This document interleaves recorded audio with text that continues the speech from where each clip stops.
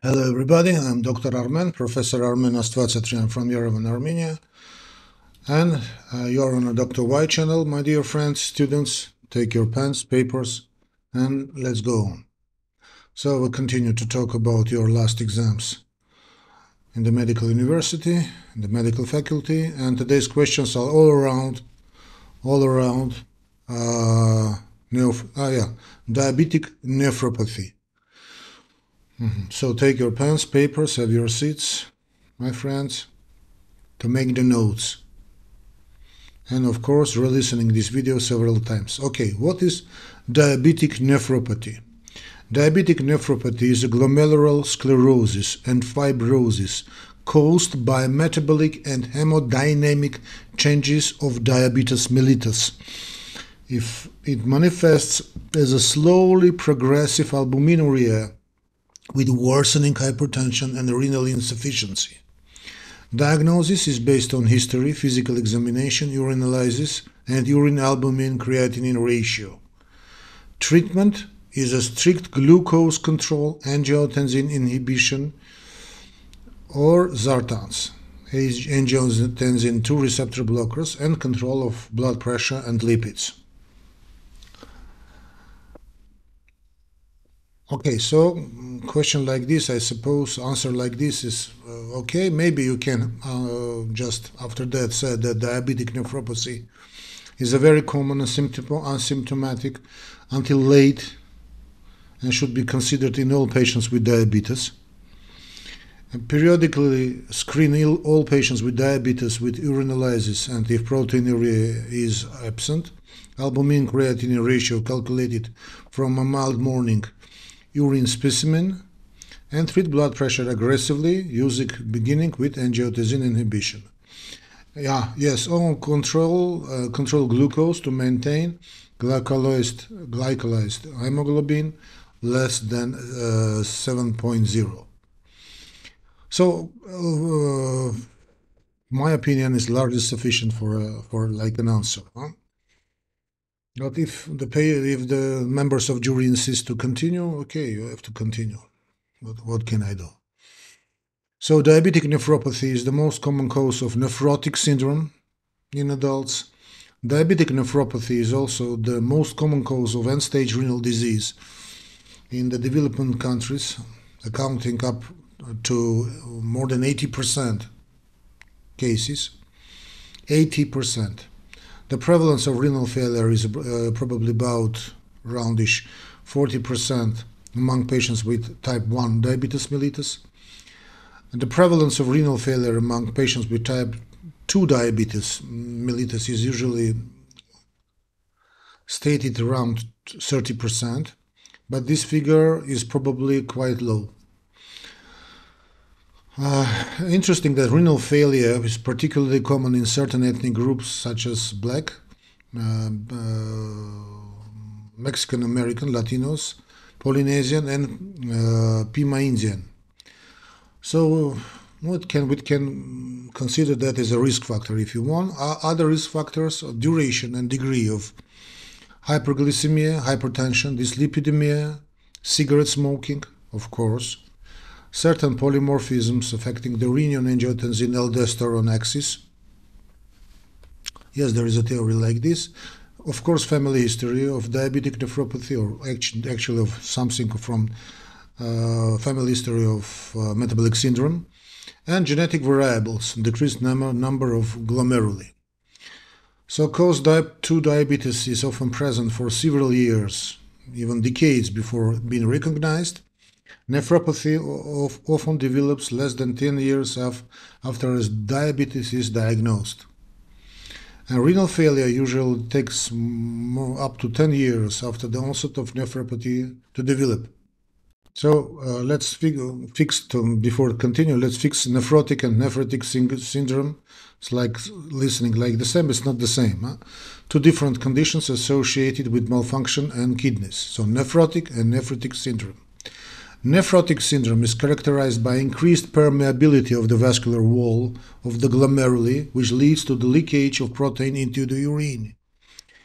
The key symptoms is the presence of the large amount of protein in the urine, more than 3.5 grams per day, which leads to the development of edema, hypoalbuminuria, and hyperlipidemia. The cause of nephrotic syndrome can be kidney disease, such as diabetes nephropathy, minimal change uh, disease, amyloidosis of the kidneys, and others.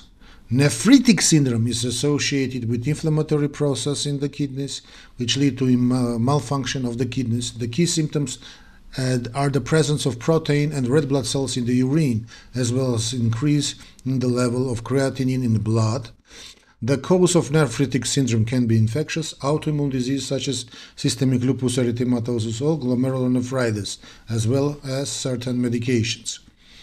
Thus, difference between nephrotic and nephritic syndrome lies in the causes and mechanisms of other of their development, as well as the types of the changes that occur in the kidneys and which manifest themselves in different symptoms. But if you remark, there are a lot of uh, points that, that, are similar. But anyway, we distinguish. Not we, uh, nephr nephrologists, urologists. So, uh, about pathophysiology of the diabetic nephropathy. Pathogen pathogenesis begins with small vessel disease. Pathophysiology is a complex involving glycosylation of proteins, hormonally influenced cytokine release, for example, transforming growth factor beta, deposition of mesangial matrix, and alteration of glomerular hemodynamics.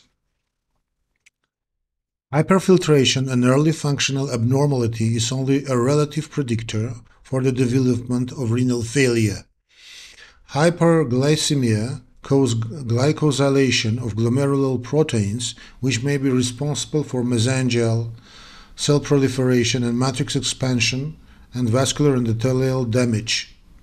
Glomerular basement membrane classically becomes thickened. Lesions of diffuse of or nodular intercapillary glomerulosclerosis are distinctive. Areas of nodular glomerulosclerosis may be referred to as Kimmelstiel-Wilson lesions. Kimmelstiel-Wilson lesions. Yes, if you can, please, huh? The number number of lesion.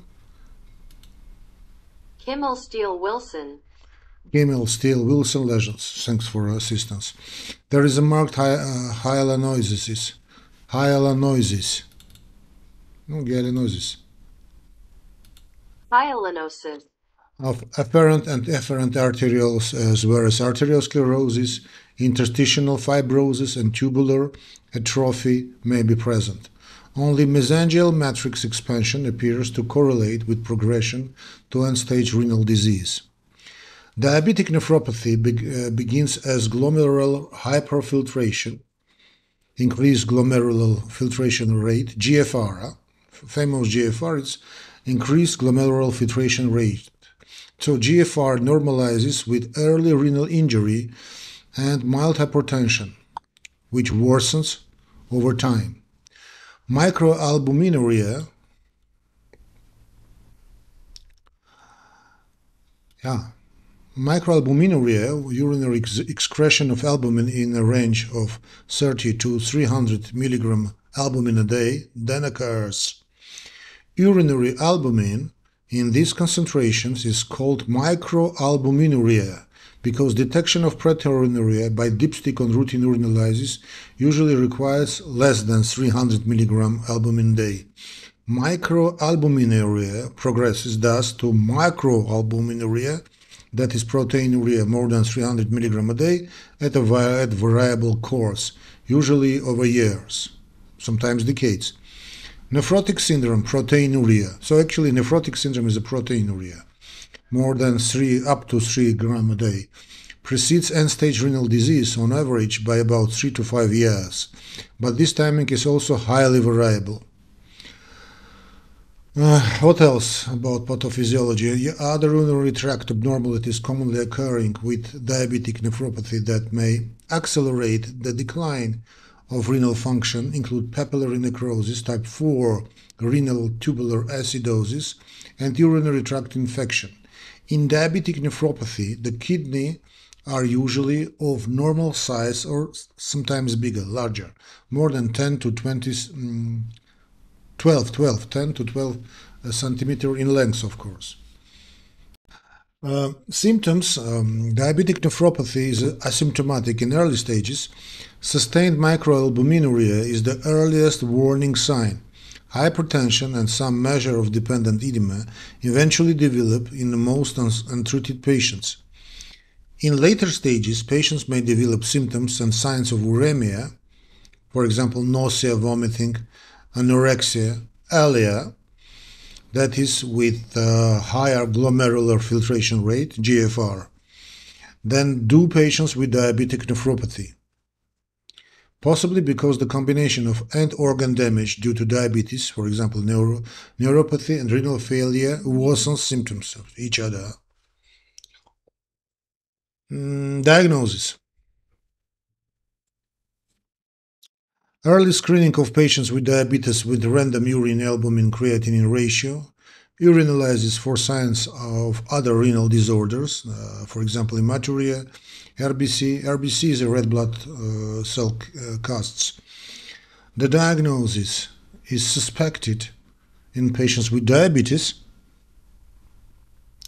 who have proteinuria particularly if they have diabetic retinopathy, indicating small vessel disease or risk factors for diabetic nephropathy. Other renal disorders should be considered if they are on any of the following. For example, diabetic retinopathy, heavy proteinuria with only a brief history of diabetes, absence uh, of diabetic retinopathy, rapid onset of heavy proteinuria, gross hematuria, RBC casts, and rapid decline in glomerular filtration rate. Small kidney size. Patients are tested for proteinuria by routine urinalysis. If proteinuria is present, testing for microalbuminuria is unnecessary because the patient already has microalbuminuria, suggestive diabetic renal disease. In patients without proteinuria or urinalysis or albumin creatinine ratio should be calculated for a mid-morning urine specimen. A ratio more than 30 milligram a gram or more than 33.4 milligram millimole indicates microalbuminuria albuminuria if it's present at, uh, on at least two to three specimens within three to six months, and if it cannot be explained by infection or uh, exercise. Some experts recommend that microalbuminuria be measured from a 24 hour urine collection. But actually, good, uh, yes, I understand, good opinion, but this approach is less convenient and many patients have difficulty ac accurately collecting a specimen. The random urine albumin creatinine ratio overestimates 24-hour collection of microalbuminuria in up to 30% of patients, uh, more than 65 due to no, plus 65, 65 plus, due to reduced creatinine production from reduced muscle mass. Inaccurate results occur in very muscular uh, patients if vigorous exercise precedes urine collection. Yeah. Yeah, it, it can be, why not? For most patients with diabetes who have proteinuria, the diagnosis is clinical. Renal biopsy can confirm the diagnosis, but is rarely necessary. So about screenings. Patients with type 1 diabetes with, uh, without known renal disease should be screened from pro for, for, proteinuria, and if proteinuria is absent or routine urinalysis, for microalbuminuria beginning five years after diagnosis and at least annually thereafter. Patients with type 2 diabetes should be screened at the time of diagnosis and annually thereafter. And that's about prognosis. Prognosis is good for patients who are meticulously treated and monitored.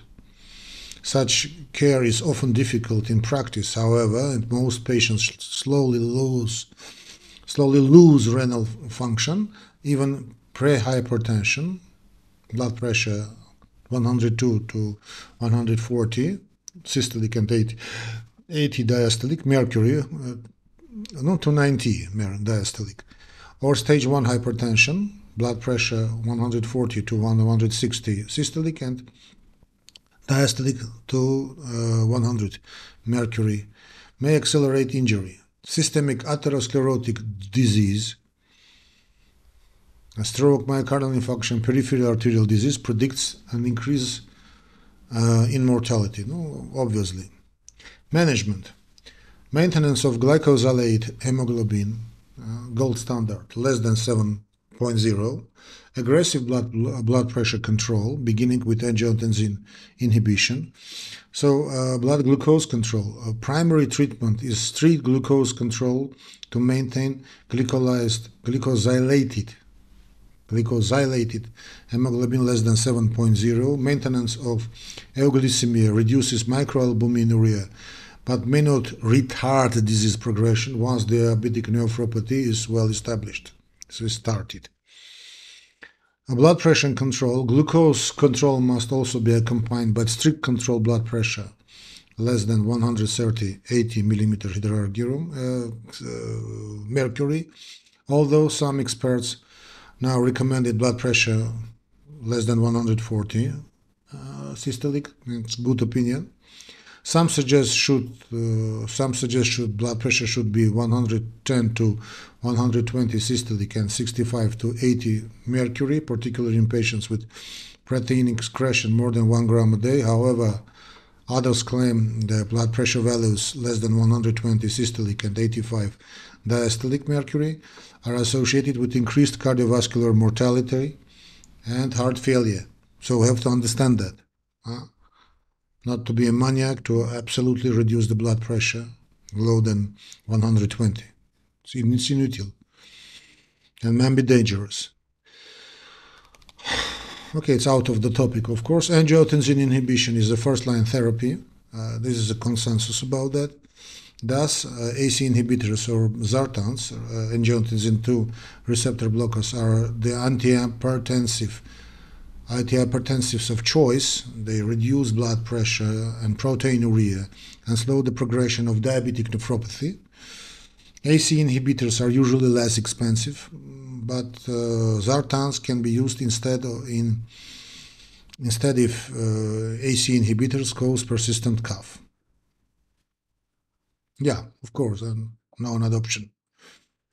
Now another possibilities actually. Treatment should be started with microalbuminuria is detected regardless of whether hypertension is present. Some experts drugs some experts recommend uh, drugs be used even before signs of renal disease appear. So highly questionable actually two points of view. Diuretics are required by most patients in addition to angiotensin inhibition to reach target blood pressure level. Those should be decreased if symptoms uh, uh, or orthostatic if symptoms of orthostatic hypertension, hypotension develop, or serum creatinine increased by more than 30%. About diltiazem and uh, verapamil, so non-dihydropyridine calcium channel blockers. They are also anti uh, antiproteinuric and, and renoprotective and can be used if proteinuria doesn't meaningfully decrease when target blood pressure is reached or as alternative for patients with, for example, for with hyperkalemia or other contraindications to uh, ACE inhibitors or Sartans. In contrast, dihydropyridine calcium channel blockers, no famous nifedipine, felodipine, amlodipine, do not reduce proteinuria, although they are useful adjuncts for blood pressure control uh, and maybe the cardioprotective in combination with uh, ACE inhibitors. ACE inhibitors uh, and non-dihydropyridine dihydropyridine calcium channel blockers have greater antiproteinuric and renoprotective effects when used together. And their antiproteinuric effect is enhanced by sodium restriction. Non-dihydropyridine calcium channel blockers should be used with caution in patients taking beta blockers because of the potential to worsen bradycardia.